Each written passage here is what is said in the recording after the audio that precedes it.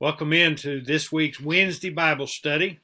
Uh, here, brought to you by the Union Hill Church of Christ. We're glad that you're tuning in, and we hope that it benefits you in your uh, advanced knowledge of God's Word and in the application of that Word to your life.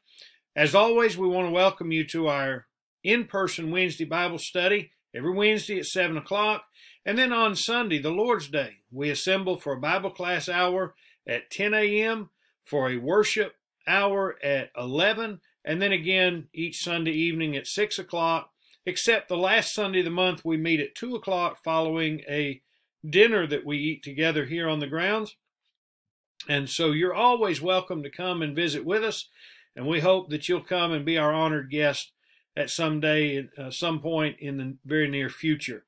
We hope that these studies are going to help you, and we encourage you to, to view all of them we have an additional uh, video already uploaded or already posted uh, prior to this, the Wednesday Bible study. And they all go in line with this study of the book of Matthew that we introduced last Wednesday. We hope that as we're studying this, that you are going to be benefited by it as we open up God's Word and try to recognize what it is we're looking about. You'll notice it is the first quarter study, and as I said last week, we're going to try each week to post two and a half to three hours worth of video that is going to help you understand uh, God's Word. Now, as we come back to our study, do remember that last Wednesday in our Bible study, we had focused on Matthew the man. We wanted to understand a little something about the individual that God used to pen this particular gospel record. And so we did that last Wednesday. In our previous video for this week, we actually looked at the external viewpoint of introduction to the book of Matthew and then got into the internal, focused on where Matthew was going or what he was trying to do and how he was going to accomplish his purpose. You might recall in that previous video, we looked at this internal view. We saw that the book itself seems to be naturally divided into three major sections because of what is said in chapter 4 and verse 12 that Jesus departed into Galilee, and then in 19.1 he departed from Galilee. And that seems to be natural divisions in the book as Matthew lays out his information.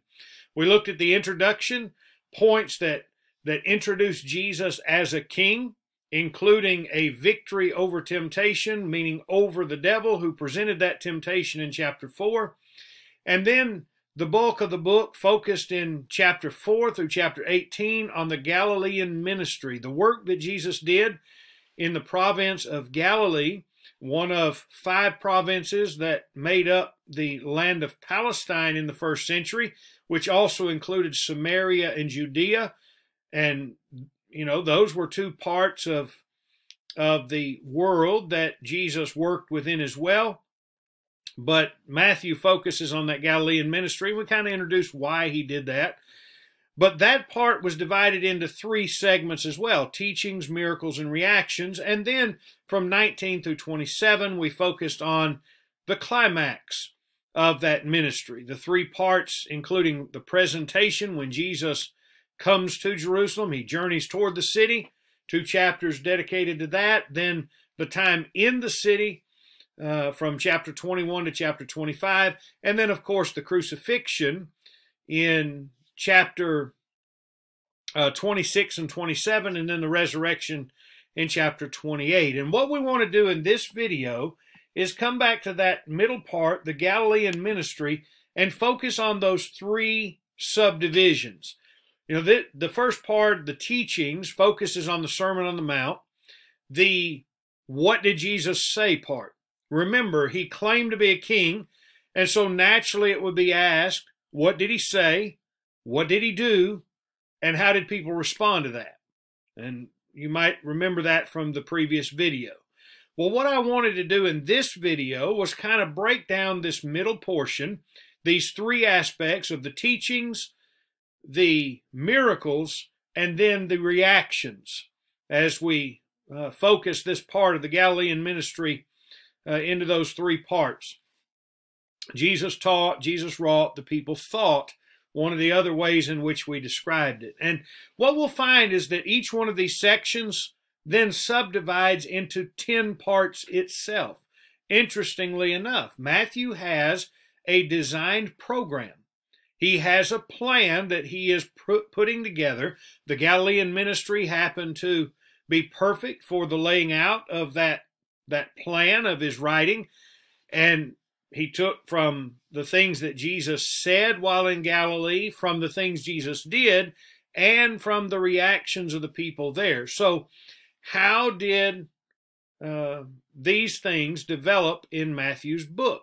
Well, in the teachings, we'll notice first of all the Beatitudes. The Beatitudes are in Matthew chapter 5, verse 1 through 12. Those happen to be the subject matter of the Sunday morning sermons the, the past couple of weeks at Union Hill. We've had three lessons so far dealing with those, and we have one more this coming Sunday as we understand what the Beatitudes were, were presenting. And as Jesus is preaching the gospel of the kingdom, these Beatitudes actually focus on the kingdom subjects. If we might just briefly mention some of these in Matthew chapter 5, Verse number three, he said, Blessed are the poor in spirit, for theirs is the kingdom of heaven. Of course, the Beatitudes are so called because they each begin with that term blessed. And the Latin term beati or beatus is the uh, word from which beatitude comes, and that, that Latin term meant blessed or blessed, as we sometimes say it. And what Jesus was pronouncing was the highest degree of, of happiness. And the happy uh, the the highest degrees of happiness actually pertain to the subjects of the kingdom. But these are characteristic. The, these beatitudes are expressing certain characteristics of those who would actually be subjects of the king's kingdom. Remember it's a spiritual kingdom thus we would expect spiritual aspects of the kingdom subjects and when he said blessed are the poor in spirit he's obviously talking about their their humble nature. They're poor in spirit, that is, they're willing to be led, and uh, in in willing to be led, they are going to to follow the directions. They're going to do what has been told them to do to enter into the kingdom.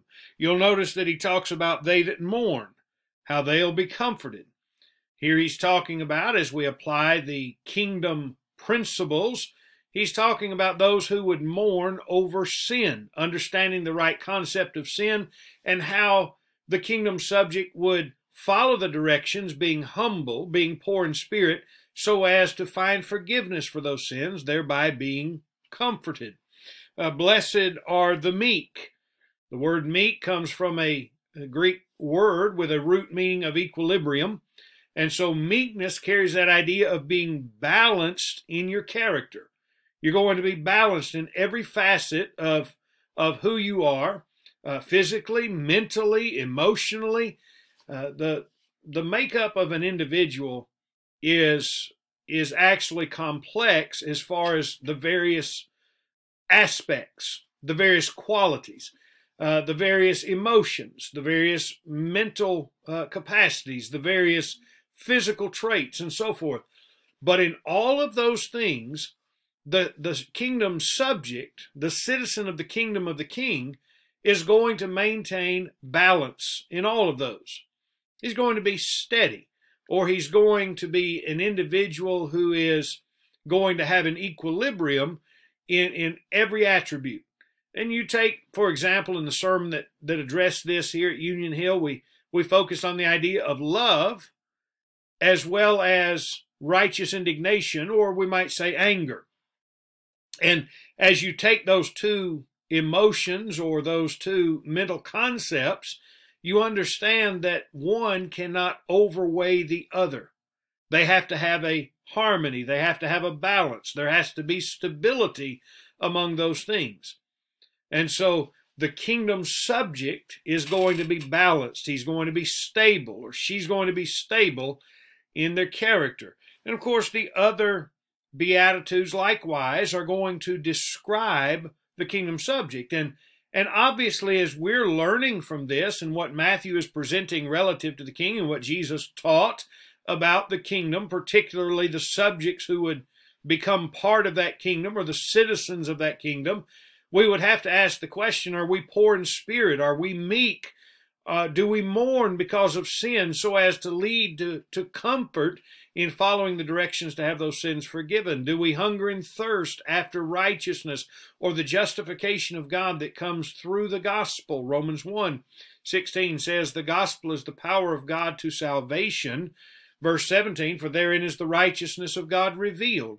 So if God's righteousness is revealed in the gospel, and we hunger and thirst after righteousness, we thus hunger and thirst, we have a strong desire for God's word, we would simply ask the question from the teaching of Jesus here do we really hunger and thirst after righteousness? Do we really desire God's word so as to understand it, obey it, and be satisfied or filled in following its directions? So, the first part of his teaching, the first section, uh, which may we even say extends into verse 13 through 16 with the similitudes, where he likens the kingdom subjects to salt, to light, and to a city set on a hill regarding their influence. Not only do they have a certain character, that character actually is serving to influence or set an example before the world. Then Jesus delves into moral standards. When it comes to the teachings of Jesus, you'll note in chapter 5, there's several occasions where Jesus says, Ye have heard that it hath been said by them of old time, but I say unto you. And throughout the rest of chapter 5, from verse number uh, 17 through verse number 48, this, this theme is going to go, or this, this repetitive uh, understanding You've heard it said, but I say unto you. A contrasting of the teaching of Jesus with someone else's teaching. And, and some have mistakenly believed that Jesus was contrasting his teaching to that of the law of Moses. But that's not true. What Jesus is addressing here, remember, he says in verse number 20 of Matthew 5, except your righteousness shall exceed the righteousness of the scribes and Pharisees, ye shall uh, uh, ye shall in no case enter into the kingdom of heaven. Kingdom principles. The righteousness of the scribes and Pharisees was not based on the law of God. It, it wasn't that they were adhering to the commandments of God versus what Christ was about to present. Rather, they were adhering to the traditions of the fathers. Remember, Matthew 15 talked about how they taught for doctrines the commandments of men. So, what Jesus is contrasting there in what they have heard versus what he says is the tradition of the elders as held concerning the law, as opposed to what Jesus had to say. So, where the old law may have said, You've heard an eye for an eye and a tooth for a tooth. While the old law did claim an eye for an eye and a tooth for a tooth in civil justice, remember the Old Testament had a civil law aspect to it too because it was the law of a nation of people, the people of Israel, the nation of Israel. And there was a judicial system put in place in which laws were enacted and retribution for the violation of that law or judicial wrath was to be executed. And so an eye for an eye and a tooth for a tooth related to that judicial wrath or the execution of the penalty of law being broken and that penalty being carried out. Didn't mean God had no mercy. It didn't mean that God did not, did not extend grace. But what it did mean is that there was a law in place. When that law was violated, there was a punishment for the violation of that law. But when Jesus said, You've heard that been said, eye for an eye and a tooth for a tooth, that was based of uh, concerning the interpretation of that law, where personal vengeance was was taught or was practiced or was uh, even uh, gendered because of a misinterpretation of the law. And Jesus said, But I say unto you, contrasting the righteousness of the Pharisees that pertain to the uh, traditions of the fathers. Remember, even Paul said in, in Romans chapter 10 that the Jews went about to establish their own righteousness and had not had not submitted to the righteousness of God. So in the righteousness of the Pharisees, it was their own. It was not God's. And that's what Jesus was contrasting. So the moral standard, the correct behavior, you know, whether it be in dealing with marriage and the look of lust, verse number 27 and 28, you've heard that been said of old time, thou shalt not commit adultery, the physical act of adultery. Sexual interaction between uh, two parties, one of which, or at least one of which, is married. But Jesus said, I say unto you, if you look on a woman to lust after her, you've committed adultery already in your heart. Where the Pharisees' tradition may have been as long as you don't engage in the physical act, Jesus says, as a man thinketh in his heart, so is he. And out of the heart, the man sins. And so Jesus focuses on that heart. We think about what he said in, in verse number 33. You've heard that been said by them of old time, Thou shalt not forswear thyself, thou shalt perform unto the Lord thine oaths. I say unto you, swear not at all the oaths that were made, they were classified in different ways as to how strong or weak the oath was and whether you were obligated to, to keep it. Jesus said, let your yea be yea and your yea, yea, your yea be yea and your nay nay, speaking to the moral standard of the day. And so we might focus on that in our Wednesday Bible study and not only say, do we meet the characteristics of a kingdom subject presented in the Beatitudes, such as being poor in spirit or being humble and willing to be directed or led by God's word, but also do we behave in a way that is appropriate to a kingdom subject? As a citizen of the kingdom, are we adhering to the king's teaching relative to moral standards? Even to the point where he says in, in chapter 5, in the context of verse 38 through 48, concerning our actions toward one another, the, the thirst for personal vengeance being uh, condemned, and love being invoked, and then therefore being perfect as our Father in heaven is perfect. Our behavior should conform to the character of the Father in heaven, not to the traditions of the earthly fathers that may not coincide with God's law. So Jesus says here the moral standards. Number three, under the teachings, he talks about religious motives. Now, on the screen, we have three letters A, P, and F. And, and that's only for the sake of, of time. Those letters represent alms, prayers, and fasting. And you might recall in, in Matthew chapter 6, in that middle chapter of this three set, this three sets of chat, or uh, this set of three chapters, that Jesus is presenting his teaching, what he said he addressed almsgiving, prayers, and fasting. And of course, he, he contrasts real, genuine motives, true motives, with the motives that the Pharisees enacted these activities upon. They did it for to be seen of men, whether it was almsgiving to receive the praise of men. Let men see what I'm giving, wherein I am helping others so that they can praise me not for the sake of helping those that were in need, but for the sake of being seen helping those who are in need so that I can receive the accolades. That was their motive. Even in their prayers, they would stand in the street corners. They would, they would make broad their phylacteries. They would do certain things so as to present themselves in their prayer life for to be seen of men, so that men could say, Oh, how religious they are. Listen to how they pray. And then, even in fasting, they would configure themselves, they would contort themselves, they would make their fasting known to all. And Jesus basically condemns the motives. It wasn't that almsgiving was bad, it wasn't that prayer was bad, and it wasn't that fasting was condemned. But the motives behind what they were doing is what Jesus addressed. And the same with you and I. What is our motive for service? What is your motive for serving God? Let no, notice what he says here in like in verse number 2 of chapter 6 therefore when thou doest thine alms do not sound a trumpet before thee as the hypocrites do in the synagogue and in the streets that they may have glory of men They did it so that men could sound their praises. They just liked the pat on the back. But Jesus said, Do it in secret so that your Father that sees it in secret can reward thee openly.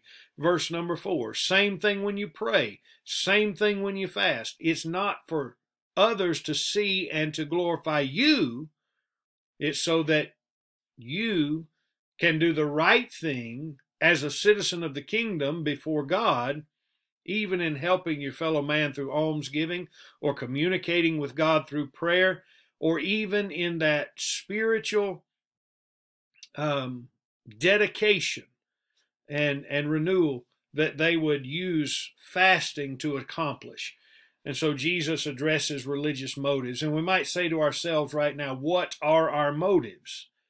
Why do we render service, religious service, at all? And let it be better than that for which the Pharisees rendered it. The fourth section dealt with mammon worship uh, we might focus on that that idea of treasure. Where is your treasure? Because Jesus said, "Where your treasure is, there will your heart be also."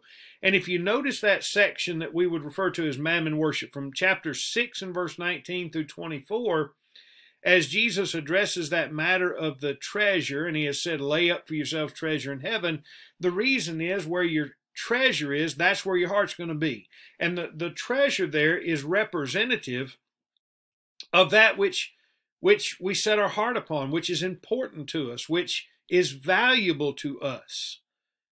And if you put value only on the things of this earth, and in essence end up worshiping that, well, then you're not going to have that for which you really desire.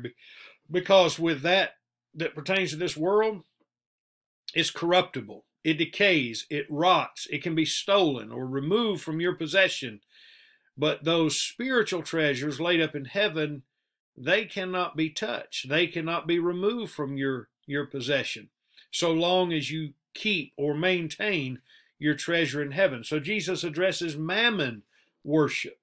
He addresses temporal cares. We might say anxiety versus trust. In chapter 6, verse 25 through 34, if you if you read through those verses, he focuses on the idea that you don't need to have anxiety or worry over the things of this life, like what you're going to put on, what you're going to eat, what where, where you're going to live. Now, it doesn't mean that those things aren't important, and it doesn't mean that they shouldn't be uh, considered. After all, Paul said, "If a man doesn't work, neither should he eat." And and one thing about the New Testament being from God, it is not contradictory. Thus, there is a there's an explanation between what Jesus said here regarding anxiety, or take no thought for what you'll put on or what where, what you're going to eat and so forth, and Paul saying if a man doesn't work, neither should he eat. And the point Jesus is making there in verse 34 when he says, Take no, therefore, no thought for the morrow, for the morrow shall take care of the things of itself, sufficient unto the day is the evil thereof he's talking about that idea of anxiety or worry. And rather than having anxiety or worry over those temporal things, we need to trust in God and seek first the kingdom of heaven. So, in the teachings of Jesus, he has addressed the character of the kingdom subjects. He's addressed the behavior or the moral standards of those kingdom subjects. He has addressed the motive or motives of those kingdom subjects. He has addressed the things of greatest importance to those kingdom subjects in where their treasure is. And now he's addressed the matter that as a kingdom subject, a spiritual kingdom and a spiritual citizen of that kingdom, we live in a temporal world. And what is our relationship to this world as a subject of the spiritual kingdom of Christ? And it's not to worry and have anxiety over the temporal things, but rather to trust in Him and put the spiritual kingdom first. Matthew 6:33 says, "Seek first the kingdom of heaven, and all these things shall be added unto you, and His righteousness, and all these things shall be added unto you." In the teachings of Christ, He also mentions the social discernment, a passage that is often taken out of context or misapplied because they don't see the full panoramic view of what Matthew has said. Uh, this is one of the dangers of taking one verse and, and not looking at it in its fuller context. Judge not that ye be not judged. That deals with social discernment. And he talks about the judgment that is weighed or meted out and that which shall come to us as well. And it talks about that interaction with a brother who has a, an issue in his life, a wrong in his life that needs to be corrected, and we too having uh, some uh, some matter in our life that needs to be corrected, and and actually presenting it in a way that it's it's greater than what we're trying to fix in the, in our brother. But the matter of social discernment if you look at Matthew chapter 7, judge not that ye be not judged, and, and you take it, lift it out of the context and say, see, Jesus said, don't ever judge. That's not what Jesus said, because in the very context, Jesus is going to lay down some teaching that requires you to make discernment or to make judgment. Like in when he says in verse number six, not to cast your pearls before swine. Give not that which is holy unto dogs, neither cast ye your pearls before swine, lest they trample them under their feet and turn again and rend you. Obviously, there's a spiritual teaching here. he's not talking necessarily about literal pearls being cast before swine, but in a spiritual sense, don't you have to make a, a discernment or a judgment as to whether or not you're casting your pearls before swine? Or whether or not you're giving the crumbs to the dogs. And and then even when he, he talks later about false teachers, in verse 15 he says, Beware of false prophets. Doesn't it require a judgment in order to discern between a true prophet or a true teacher and a false teacher? So obviously Jesus isn't condemning all judging, but based on the context, he is condemning hypocritical judging that of which we would discern an indiscretion in another and and censure them when as a matter of fact there is an indiscretion in our life that is yet to be corrected. And so jesus teaches regarding social discernment censuring and indiscretions as we interact one with another. Jesus dealt with a sentence summary or a passage that sums up life in verse number 12 Therefore, all things whatsoever ye would that men should do to you, do ye even so to them, for this is the law and prophets. Summing up, as we call it, the golden rule do unto others as you would have them do unto you. You treat others. It didn't say the way they're treating you, it said the way you would want them or desire them to treat you, as you would that men do to you. What you would want for others to give to you. If you want others to extend you mercy, then by all means extend them mercy. If you want others to forgive you, then by all means be forgiving of them. If you want others to love and appreciate you, then by all means you must love and appreciate them. And it's not it's not based upon whether or not they are loving and respecting you, but rather that's what you desire from them toward you, so you extend that to them. The golden rule of life, do unto others. And and Jesus, in that, summed up our interaction with others. A sentence summary. Jesus also gave forth two alternatives in the broad and the narrow way, and he gave a final warning. In, in the latter portion, he talked about false prophets. We mentioned verse number 15 uh, when he said, Beware of false prophets. We notice that he talked about false profession. Not everyone that saith unto me, Lord, Lord, shall enter the kingdom of heaven, but he that doeth the will of my Father which is in heaven. Here's a great warning. Not everyone is teaching the truth. You have to discern the truth from error, who is a true teacher and who is not. Jesus then said you have to be careful of your profession. You, you have to uh, analyze and, and determine whether you are living up to your profession. You can profess that that you know Christ, you can profess that you love Christ, but if you're not doing the will of the Father in heaven, if you're not obeying the Father in heaven, then you're not living up to that profession, which would make it a false profession. He talked about a false foundation, those who build upon the sand versus those who build upon a rock, and the distinction between the two is in hearing and doing what he has said. You hear these sayings of mine and do them. You're like that wise man that built on the rock that had that solid foundation. But if you hear them and don't do them, then you're like that man who built on a a, a, uh, very uh, weak foundation, uh, a very uh, uh, unsupportive foundation, and lost everything. So, in the teachings of Jesus, he, he says a lot about the kingdom here. Remember, he's preaching the gospel of the kingdom.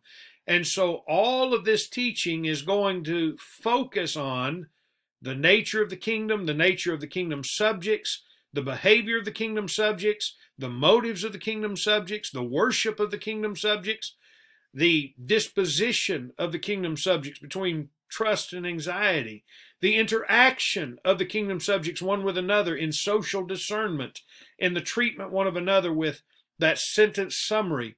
And it's going to end with a choice. The kingdom subject is going to choose the narrow way that leads to life. All others are choosing the broad way that leads to destruction. And then there is the warning don't be and listen to false teachers or prophets don't be one who makes a false profession, and don't be one who builds on a false foundation. The teachings of Jesus. Well, then you also have the miracles of Jesus. And when you look at these passages, take take like Matthew 8 and verse 16. You notice up in the, the top right corner of the screen, there's two verses out of these three chapters, 816 and 935. Notice in 8:16 it says when even was come they brought unto him many that were possessed with devils and he cast out spirits with his word and healed all that were sick. Chapter 9 Chapter 9 and verse number 35 says, And Jesus went about all the cities and villages, teaching in their synagogues, and preaching the gospel of the kingdom, and healing every sickness and every disease among the people. Notice those two verses say that Jesus was healing every disease, every sickness, as he is healing all, or he is healing every sickness. What Matthew is going to do is choose 10 of them. And there's going to be a clear distinction, and I'll point it out in just a minute, that these are grouped together. There's going to be three groups the 10 miracles that he is going to choose out of everyone that Jesus did in, in healing all and every sickness. There's going to be 10 that he selects. In the first three, they were problems that affected the whole body. And remember, here with the miracles, we're asking what Jesus did. Jesus taught, chapter 5 through 7, but now Jesus wrought. What was he doing that would demonstrate that he is the Messiah? What did the Messiah teach? What did the Messiah do? And all of this in conf- confirmation of what he taught. Think about what he has done here in, in the miracles that affect the whole body. He cleansed the leper in chapter 8, verse 1 through 4. He clean, uh, healed the centurion's servant of palsy, chapter 8, verse 5 through 13. And he cured Peter's mother in law of a great fever classifications of fevers, there were two. Peter's mother in law had the most severe classification of fever, having a great fever. And yet, in all of that, Jesus healed them.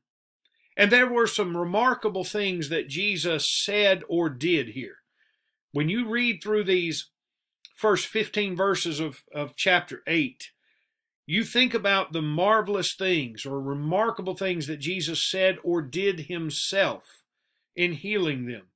Like he, he said, Go thy way, show thyself to the priest. Or he said, I will, be thou clean. Verse number three, and the man was clean. Um, the, the centurion was willing to go to Jesus, but he, when Jesus said, I'll follow you to your home, uh, he said, just say it. And Jesus said, Of that man I've not found so great faith in Israel. And of course, Jesus then said to him, Go thy way, and as thou hast believed, so be it done unto thee. And lo and behold, the same hour at which Jesus uttered those words, the centurion's servant was healed. Peter's mother in law was sick of a fever, uh, happened to be a great fever, but as he touched her, what did Jesus do? He touched her, and the fever left her, and she arose. You've been sick, I'm sure. You've run fever, I'm sure, within your life at some point in time. And you know that when that fever leaves, maybe you had the flu, maybe you even had the coronavirus, uh, COVID 19, and, and it was accompanied by fever. And you know as well as I do that you didn't instantly get up from that point as though you had never had fever and be at full strength. A fever, that, that rise in the body temperature, has a way of depleting the energy. It has a way of incapacitating us to which it takes time to recover. Not in Peter's mother in law's case. As soon as Jesus touched her, she was immediately healed and went about serving. So notice the remarkable things that Jesus said or did. In the third or second section, you have three affecting natural, spiritual, and moral. Um, and what we mean by that, the, the sphere of these miracles involves the natural world, the spiritual, and the moral realm. What do we mean? Well, in chapter 8, verse 23 through 27, Jesus healed or uh, calmed the storm, rather, affecting the realm of nature, the natural realm. Immediately there was a calm upon the sea. Notice then he cured the demonics in chapter 8, verse 28 through 34. The spiritual realm, the unclean spirits, he healed. Then you deal with the moral realm because he cured a man of palsy. But notice what he said Son, thy sins be forgiven thee. Whatever the nature of this sickness was, in some kind of paralysis, it was the result of sins that this man had committed, of which Jesus said, Your sins are forgiven. Of course, the great question would be asked who can forgive sin but, but God only? No truer statement. Jesus was God incarnate. And as he could pronounce the sins forgiven, he demonstrated his miraculous power in the moral realm when he said, Son, thy sins be forgiven thee. And in those passages, in those three miracles, chapter 8 and verse 23 through chapter 9 and verse number 8, notice the remarkable utterances about Jesus. Where in those first three, it was things said and done by Jesus. Now you note the things that are said about Jesus regarding those miracles. So Jesus uh, is going to, to calm the sea. Notice verse 27 of chapter 8.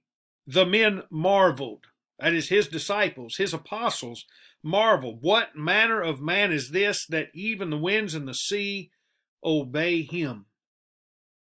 Even the winds and sea obey him. Excuse me. So you have that that idea of the remarkable things said about Jesus. In what Jesus did, people took note and said, What manner of man is this? And you can do that with, with each of those. Uh, verse number 33 they, they went and told everyone what had happened as, as they had uh, been healed of that demonic possession or in the curing of, of the, the palsy.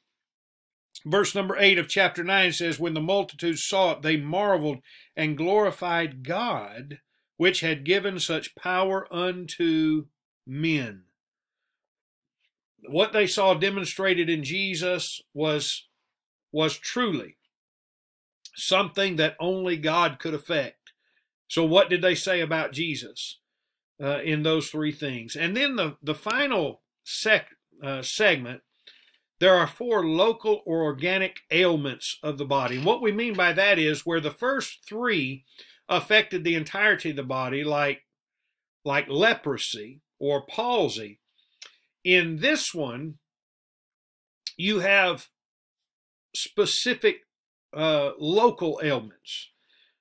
The woman with the hemorrhaging of blood in chapter 9, verse 18 through 22 You have the ruler's daughter who was dead, an organic element in, of the body in the sense that no life within it. Now you just have the the the earthen matter, and no soul, no spirit within that body.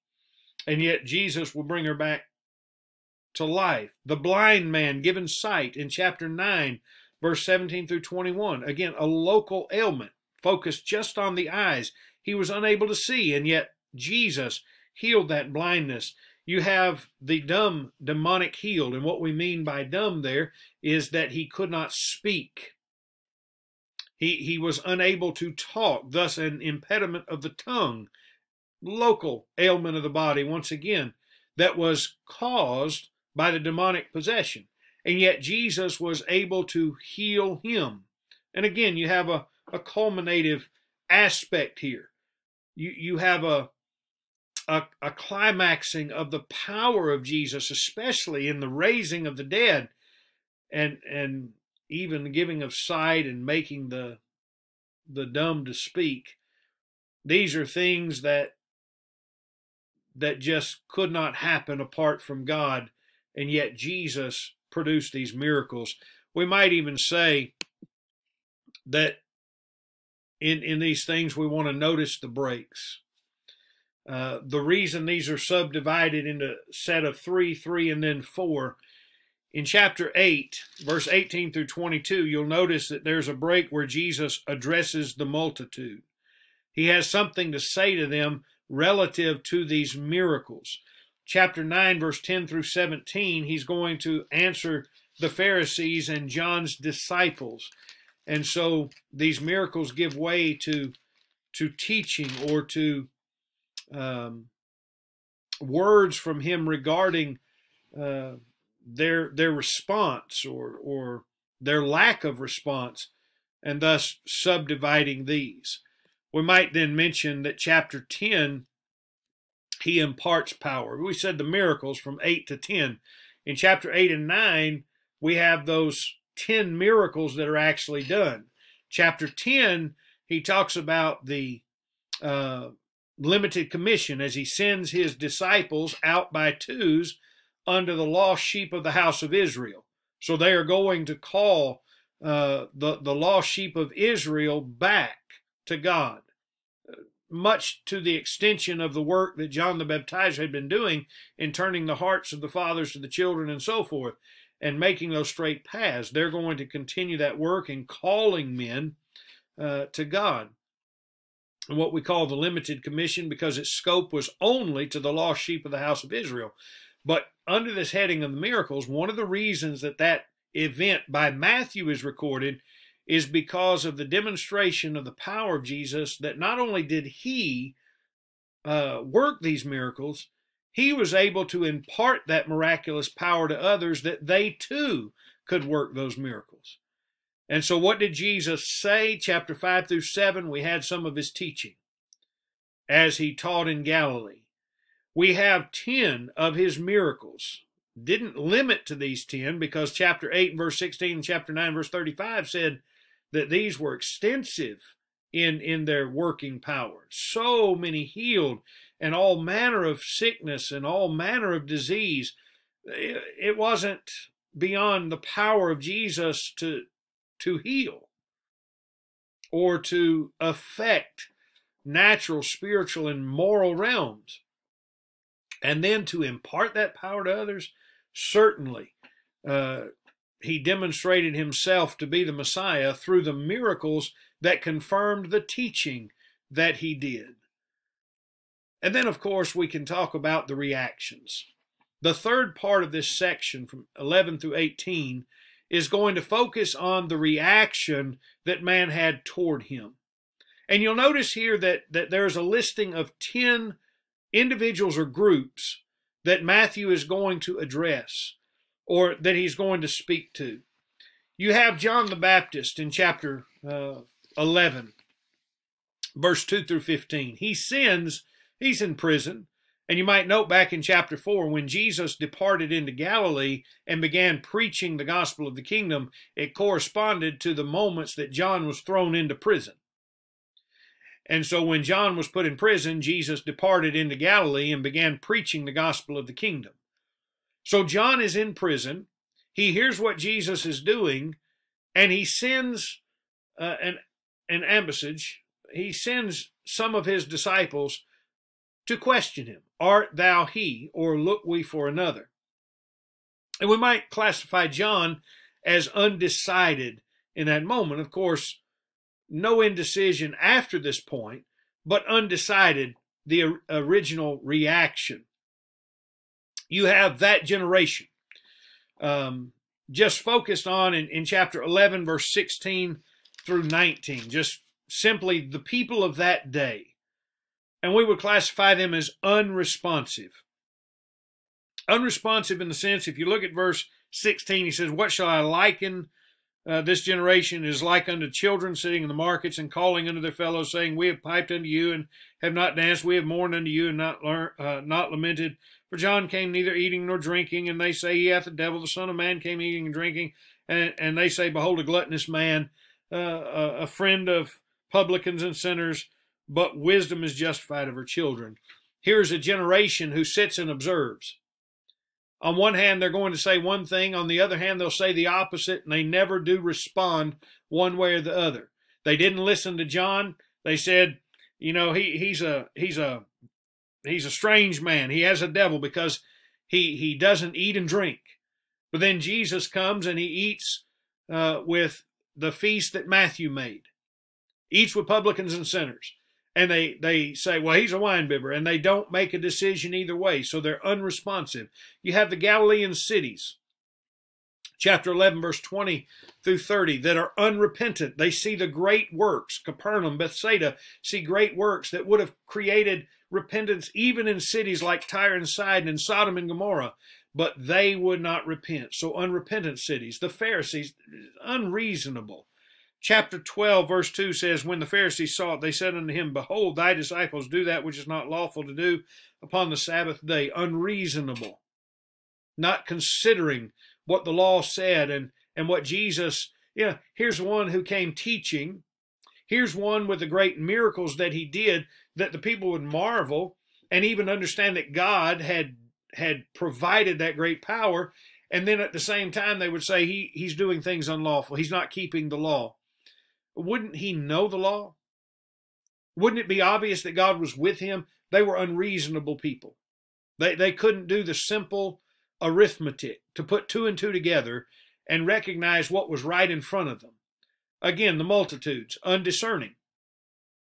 Similarly, uh, chapter 13, he spoke in parables because it was given to his disciples to know the things pertaining to the kingdom of God, but to them it was not given. They, they were undiscerning. They couldn't figure it out. They heard these parables that Jesus said, and they, they might even hear him say, The kingdom of heaven is likened unto. But they just couldn't figure it out, undiscerning. The Nazarenes were unbelieving because a prophet is not without honor save in his own country. They knew Jesus. They had heard Jesus. They knew his upbringing. They knew his family. And including his family, they didn't believe in him. Herod was unintelligent. He didn't know what to make of it. He thought Jesus was John the Baptizer come back to life in chapter 14. The Jerusalem scribes were unconciliatory. In chapter 15, in verse 1 through 20, there is a confrontation when his disciples are accused of transgressing the tradition of the elders in eating uh, bread without washing their hands. They would not they would not hear and understand the teaching of Jesus. So unconciliatory.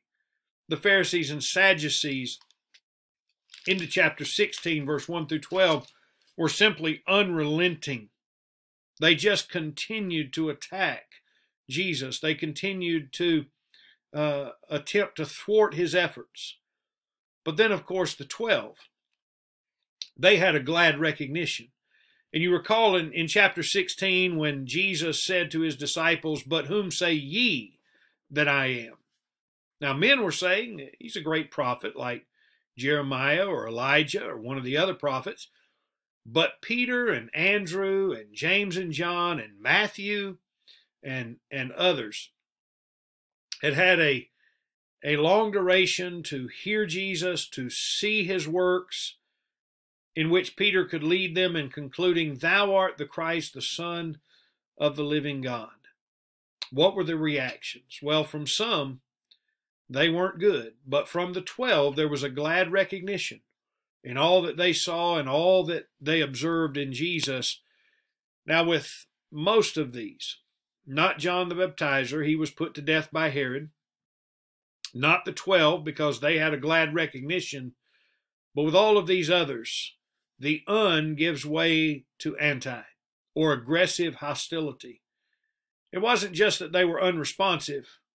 That generation began aggressively hostile activity in order to put Jesus to death. The Pharisees not only were unreasonable and later unrelenting, they became, became anti Jesus. And they aggressively were hostile toward him, even to clamor for his death. We might ask this with the ending of, of the thought in this lesson what's your reaction to Jesus? You hear what he teaches.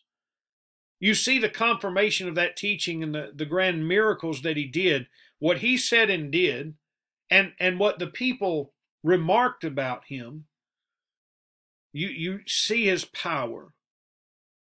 So, how do you respond to him? Do you take his teaching and implement it in your life? Do you become one who humbly follows the directions of God in order to seek comfort in, in the forgiveness of sin?